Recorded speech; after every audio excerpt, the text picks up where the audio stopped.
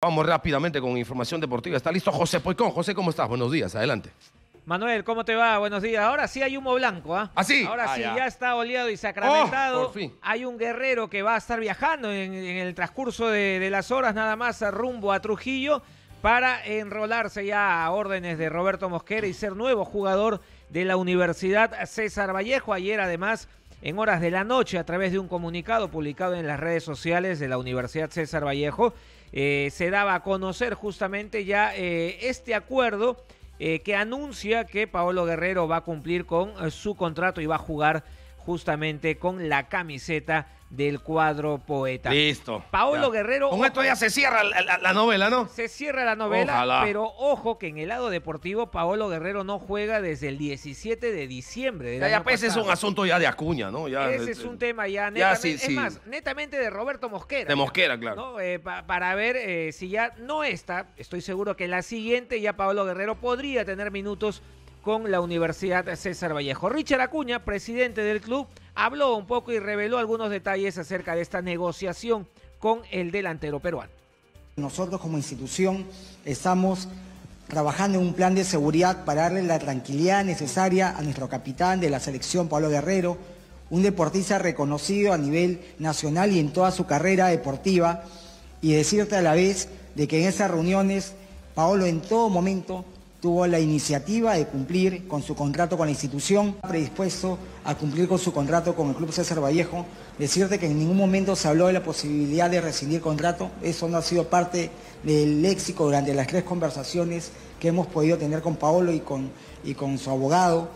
alguna intención de repente de irse otro equipo de la Liga 1? Yo totalmente descarto esa posición. Ahí estaban las declaraciones entonces de Richard Acuña refiriéndose justamente a Paolo Guerrero. Tiene Paolo Guerrero un año de contrato, es decir, todo el 2024 va a jugar con la camiseta de la Universidad César Vallejo.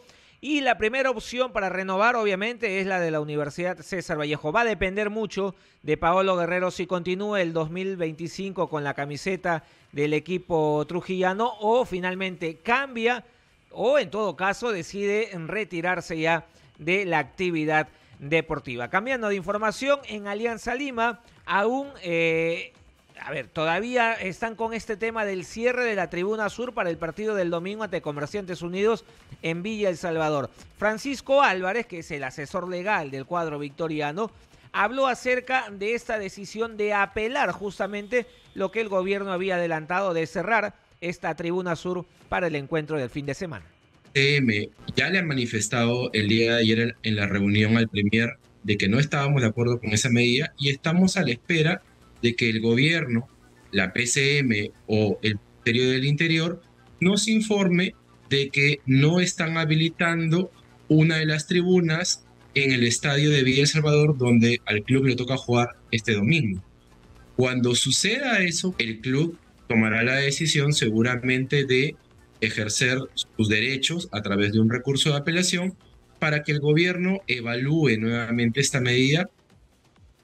Ahí estaba entonces las declaraciones de Francisco Álvarez, asesor legal de Alianza Lima, que aún Alianza eh, mantiene esta posibilidad o mantiene esta posición de eh, jugar con todas sus tribunas el fin de semana cuando reciba en Villa El Salvador a Comerciantes Unidos. Para cerrar cortita nada más, Ya. nuestros surfistas nacionales estarán buscando este a partir del día sábado su clasificación a los Juegos Olímpicos París 2024. Entre ellos están Daniela Rosas, Sol Aguirre y Arena Rodríguez, mientras que en varones Lucas Mesinas, Miguel Tudela y Alonso Correa van a participar de este torneo clasificatorio a los Juegos Olímpicos París 2024.